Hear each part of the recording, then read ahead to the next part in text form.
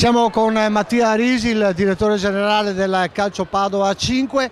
Beh, una grande soddisfazione vincere il derby di campionato. Già avevate vinto quello di Coppa, ma questa sera ancora di più.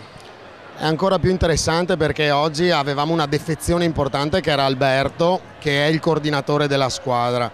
E ho visto comunque eh, dei ragazzi che comunque sono cresciuti moltissimo e sono riusciti a dare una, avevano una certa personalità in campo ho visto una grande squadra in genere, dai soliti Crepaldi, Carraro, ma quello che mi è piaciuto di più oggi è stato Galimberti che è venuto finalmente fuori anche con un bel gol di, di orgoglio.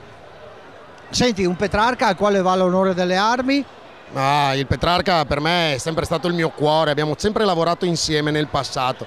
E speravo di vedere Paolo, che è un mio carissimo amico, eh, per eh, vedere con lui la partita e semmai commentarla, anche se siamo di base dei tifosi. Spero di vederlo la prossima volta.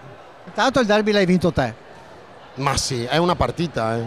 La cosa interessante di questa partita, a prescindere dal derby, è che abbiamo allungato dalla dalla, dalle ultime e quindi ci dà dei margini operativi per il futuro. Insomma, però il campionato è abbastanza lungo, insomma, siamo solamente alla sesta partita. All'ottava. Ecco, avete allungato dalla zona bassa, però avete accorciato dalla zona alta, questo è importante. Questo significa che per il Padova potrebbe cambiare il campionato adesso.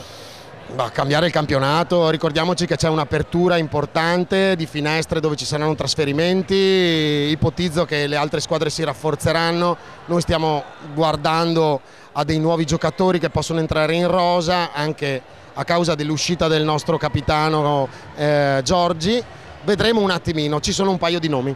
Quindi le promesse sono di rinforzare il Padova per puntare in alto?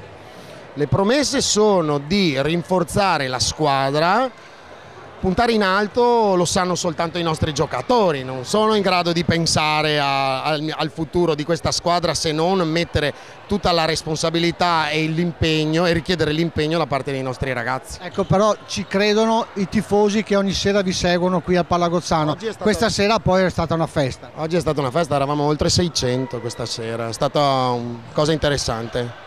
Eh, non vedo l'ora di vedere la prossima che sarà sa, venerdì prossimo in casa, spero di vederli ancora così accaniti eh, perché lo sport è bello, oltre che a farlo è anche a vederlo e goderselo. Dobbiamo far sì che il Palagozzano non basti più per eh, la gente.